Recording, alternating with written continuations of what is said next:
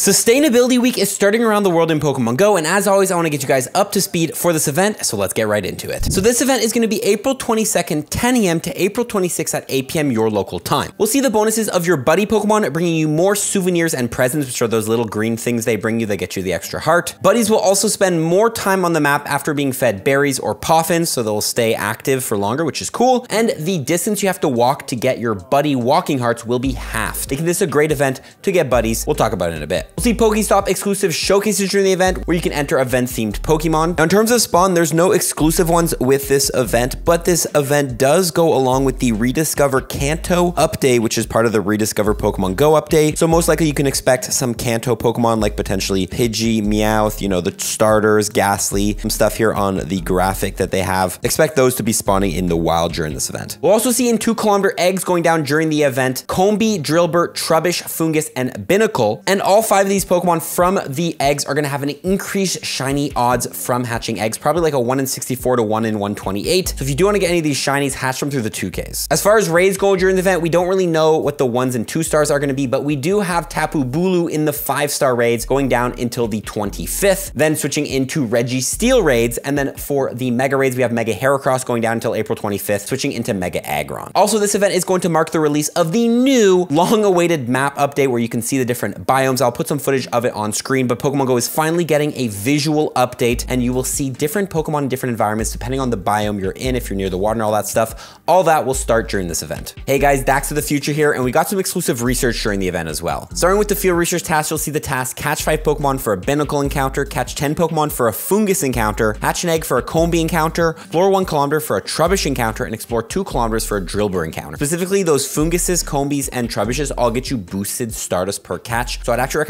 saving onto these Pokemon running when you do encounter them from field research. Hold onto them for a two or three times catch stars event, and then you can catch them then, and you'll get even more stars because it, like Trubbish gets you 750, for example. There'll also be exclusive collection challenge you can check out on screen, one where you have to catch a Drillbur and evolve it, and one catch a Trubbish and evolve it. So pretty easy stuff to do, get some Stardust XP, pretty good stuff there. With the event details of the way, let's get right into the tips. Two kilometer eggs during this event. And I wanna talk about if they're actually gonna be worth going after or not. In terms of the best Pokemon to hatch from the two kilometer eggs, we do have Drillbur in there, which evolves into Excadrill. Excadrill does see play in the Master League and is also a pretty good ground type ray attacker, so definitely not a bad Pokemon to grab by any means. We also have Binacle in there, which evolves into Barbaracle, which is decent in some limited Great League Cups, but that's really about it. So overall, unless you need any of these shinies from the two kilometer eggs, they're actually not the greatest in terms of meta relevance to go after. So yeah, I would potentially avoid them. But I will say is we do have the hatch day going down on the April 28th for Cleffa. So what you can do for these two kilometer eggs is stack them up, and then before the hatch day starts, since they're only two kilometer eggs, try to hatch them all as quick as you can so you have open spaces for when the hatch day does start, and you can quickly fill up your egg slots and hatch a lot of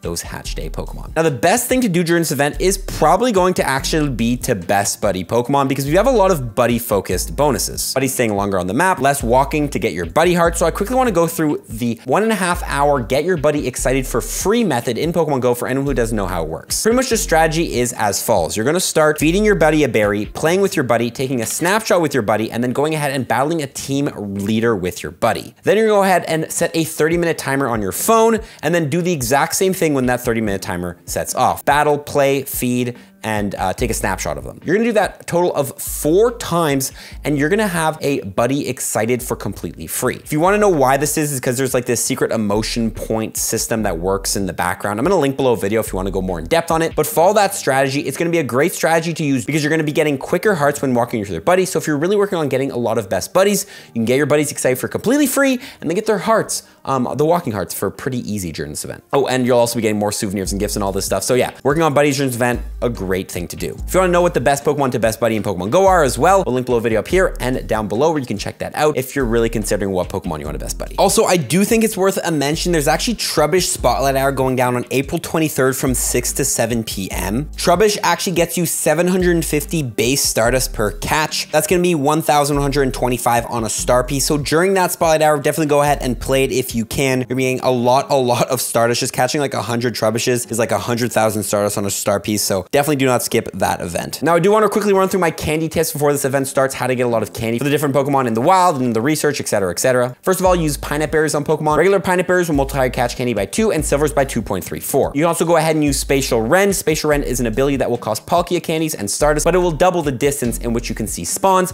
and allow you to see spawns from further, catch more Pokemon, get more candy good stuff. You can also Mega Evolve a Pokemon. If you don't know when you Mega Evolve a Pokemon, any Pokemon you catch that shares a type with that Mega, you'll get more candy, XP, XL candy, all that stuff. So you definitely want to have a Mega Mega Evolve during this event. Overall, I'm not going to lie, there's not really one great Mega to Mega Evolve during this event. So when that does happen, I generally Mega Evolve either a Primal Kyogre, a Primal Groudon, or a Mega Rayquaza, because those are the Pokemon that will hit three different types. Going to get the most. So again, I'm probably going to go with a Primal Groudon, but let me know in the comments what Mega you'll be Mega Evolving. You can also go ahead and transfer Pokemon. The month of May is coming up, which means a two times transfer candy spotlight hour is just around the corner. Don't know what they are going to be yet, but stay tuned to the community tab of the channel where I'll post a graphic when we get the next spotlight hours for the next month. And you can know when you can hold onto your Pokemon until and then transfer during a two times transfer candy event to get two times the amount of candy. And finally, go ahead and trade Pokemon. If you don't know when you trade away a Pokemon, you're gonna get one regular candy, but if the distance seen where those two Pokemon were caught is over 100 kilometers, you're gonna get a guaranteed XL candy and two regular candies. So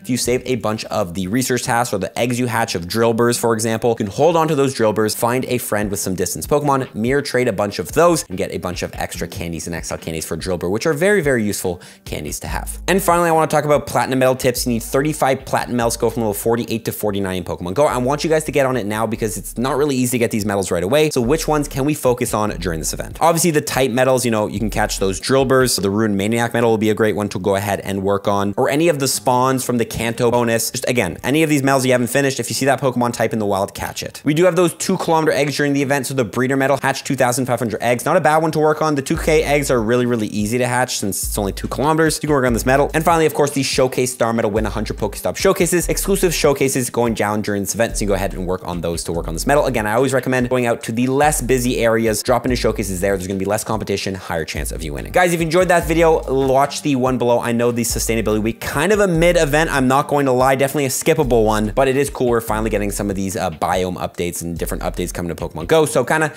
take a chill, get ready for May. It should be a good month of Pokemon Go. And follow for tips. Peace.